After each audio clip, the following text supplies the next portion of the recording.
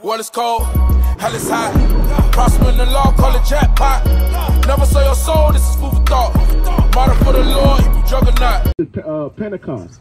These are the things that we were keeping, right? But not Easter. Bring out what you got, King. This is the book of Colossians, chapter 2, and verse 8. Beware lest any man spoil you through philosophy and vain deceit, after the tradition of men, after the rudiments of this of the world, and not after Christ. Right. All these things are not after Christ. It's the tradition of men. Right. Give me the book of Mark, chapter 7, verse 7. Right. These are the traditions of men. The apostles were not was not celebrating Easter. The apostles were not commanding anybody to celebrate Easter. These things are not written in the law and to the testimony. The Most High gave us our feast days that we're supposed to keep. Those are found in Leviticus 23. Now, if the resurrection is something that we were supposed to celebrate, why don't we see the uh, that being celebrated in the book of Acts? If anybody understood the resurrection, it would have been the apostles. They were right there with them, the ones that seen him. Right? Uh, drop that, hold that. Give me 1 Corinthians 15 and 3. 1 Corinthians 15 and 3. These are the things that we have to ask ourselves. Where did the apostles tell us to celebrate Easter? What's happening, brothers? Right? Can I ask y'all a question? Y'all brothers, looking sharp. Can I ask y'all a question? Can you show the love of Christ? Can you show the love of Christ? Right? The love of Christ is, is, is something that people claim to have, right? But they don't want to have a conversation, right? About the same Bible that we're reading, right? Give me the book of First Corinthians chapter 15, verse 3. This is the book of First Corinthians, chapter 15, and verse 3. For I delivered unto you first of all that which I also received, how that Christ died for our sins according to the scriptures. According to the scriptures, and that's the thing. We have to do things that's according to the scriptures. A lot of people lost that way to do things according to the scriptures. Give me that back in Mark 7. Right, Mark 7 and 7. We have to do things according to the scriptures, to the law, and to the testimony. These things have to be echoed and reflect within the law and the testimony. So why are we doing things that the law and the testimony never told us to do? Why are we creating traditions that Christ was rebuking the Pharisees for? Making the word of God of none effect? These are the biblical errors, or these are the errors of the teachings of Christianity. That's the spirit of error that the Bible talks about. Let's bring that up. This is the book of Mark, chapter 7, and verse 7. Howbeit in vain do they worship me, teaching for doctrines the commandments of men. Right. This is the commandments of men. The commandments of men. Right? What we abide, what we observe is the commandments of God, not the commandments of men. Celebrating Easter is a commandment of men. Jesus never commanded anybody to do that. The apostles never told you to do that. Jeremiah, Ezekiel, all these different prophets was not teaching to keep Easter. That is not a biblical holiday. The feast days of God is found in Leviticus 23. We don't see Easter listed there. We don't see Christ commanding anybody to keep the uh, Easter, quote unquote Easter. That's not what Jesus taught. The apostles didn't teach it. That's not what they were celebrating. They were celebrating the Passover. They were celebrating Pentecost. These are the things that, that, that was being taught. This is what was being observed, not Easter. Let's keep going on that, King. Right?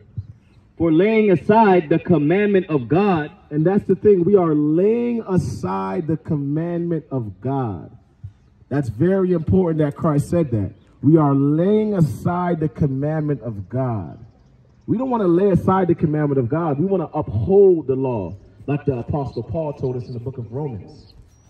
We have to uphold the law that was given to us, that was given, that was that, that came from God and given to Moses. Right? What's happening, sister? How you doing? Shalom, sis. Right? We have to do these things that's in accordance with the law and the prophets. Right? Go back where you was at, King. this, Read that again.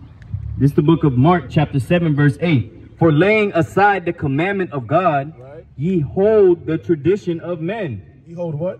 The tradition of men. This is the tradition of men.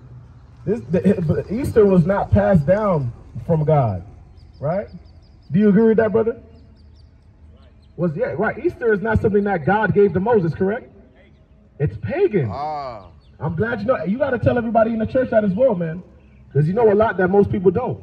Right? That's what he said it's pagan. Right? It's pagan. Now, don't get me wrong. The resurrection is something very powerful. We understand the resurrection is something that was historical. Right? We acknowledge it. Absolutely. Right? But the Most High God never said to celebrate that. He never said to make a commandment around it and then call it Easter. This is the tradition of men that the Bible's talking about that was that was uh, that was due to laying aside the commandment of God. Right? Let's read what you got, King. This is the book of St. John, chapter 5, verse 46. For had ye believed Moses, ye would have believed me. Right. For he wrote of me. Uh-huh. But if you believe not his writings, how shall ye believe my words? Right. You have to believe the writings of the law and the prophets. These things was not taught in the law and the prophets, man. In the book of Isaiah 53, we understand that he would have been crucified. He would have been sacrificed. But it doesn't say after he resurrects, you have to make Easter about it. That you make a commandment about it. That you make a tradition around it. That's not what God said. Go back to Matthew, um, uh, Matthew 7. Right? That's not what God taught. So where do we see this in the Bible? Right? Where in the law and the prophets do we see that? Right? Where did Christ give the commandment to go out and teach every nation to keep a Easter? Where did he say that? Go out and teach every nation to keep Easter. Can the pastor show us that in the Bible? Is that written in the book of Matthew? Is it written in the book of John? Right? Is it written in the book of Luke? Right? What about the eggs? What does eggs have to do with Easter? Right? What is it, a bunny or a rabbit? Right? What does a bunny have to do with Easter? Easter Sunday. Where does Christ command us to do those things? Where does the apostles command us to do those things? These are the traditions of the men that God is talking about. Read that again from the top. Mike, um, uh, Matthew 7 and 9. This is the book of Matthew, chapter 7, and verse 9. Or what man is there of you, whom if his son asks bread, will he give him a stone? This is it. Matthew 7 and 9, or was it Mark? Uh, Mark 7 and 9. Okay, cool. All right. Mark 7 and 9. Um, this is the book of Mark, chapter 7, and verse 9. Right. And he said unto them, Full well ye reject the commandment of God, that ye may keep your own traditions. Right. That's a tradition. That's a tradition that God did not give to the people of God. He didn't give the tradition of Easter. God gave his commandments. Right? We find we find that in the law and the testimony. But where did Christ command us to celebrate Easter? To make a tradition around his resurrection. We acknowledge it. We understand it's very powerful what he did. But how does that align with Easter and what the world calls Easter? We create Easter as a holiday or a holy day that's not found in the Bible.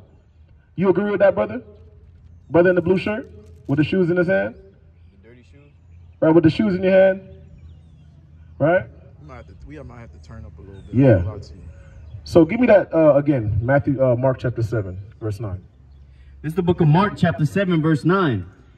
And he said unto them, Full well ye reject the commandment of God, that ye may keep your own tradition. And that's the problem with the church today. Y'all want to keep your own tradition, but nobody can tell me where Jesus Christ said to celebrate Easter. Right. There is no commandment that says to celebrate Easter. Right. I am waiting for somebody to use the words of Jesus Christ that tells me to celebrate Easter. Where did Jesus tell me to do that? Is it a commandment? Is that a new holy day? Where do I find that? Where do I find the Apostle Paul teaching these things? Why don't I see that in the book of Acts? We understand Acts 12 and 4, but that's talking about the Passover, brother. Let me ask you a question, King. Can you tell me where did Jesus tell us or command us to keep Easter or to, or, or to observe Easter? Spoil you by philosophy or vain deceit. So, under, so let, that's beautiful, brother. So what is uh, so when we when people because this is the thing, people come to Easter and say, "Oh, that's I gotta go to the church on Easter." Why do they do that? They're lost, They're lost. right? But that's the thing. So why do we have so many people flooding the churches on Easter? That's correct. But we have to preach what's biblical and what's biblically supported. So you agree Easter is not biblically supported, correct? Okay, all praises, brother. So I, I, know you go to church pretty much every Sunday, but this is the thing, King. As the children of God, we have to read the words of God. And if what we're doing does not align with the words of God, we then have to examine ourselves and say, okay, where are we getting this from? Is this a commandment of God or a tradition of men, like you said, King? right? All praises, King. Appreciate your time, right? We have to wake up our people. The brother said it. This is philosophy and vain tradition, man. Right? Give me that. Uh, keep going on that. Verse 10. Give me verse 13. Verse 13. Making the word of God of none effect through your through your tradition.